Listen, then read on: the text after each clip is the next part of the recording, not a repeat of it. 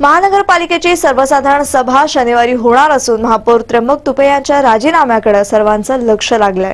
शहर स्वच्छ आणि सुंदर करण्यासह शहरवासियांना मूलभूत सोयी सुविधांची पूर्तता करणाऱ्या महानगरपालिकेवर शहराचा विकास अवलंबून आहे. शहरातील विविध भागातील नागरिकांना भेडसावणाऱ्या अडचणी आणि समस्या सोडवण्यासाठी महानगरपालिकेअंतर्गत राबवल्या जाणाऱ्या उपाययोजनांसंदर्भातील तक्रारी तसेच विविध विकास कामांवर विस्तृत चर्चा करण्यासाठी महानगरपालिकेच्या वतीनं महापौरांच्या अध्यक्षतेखाली सर्वसाधारण सभेचे आयोजन करण्यात येत आहे.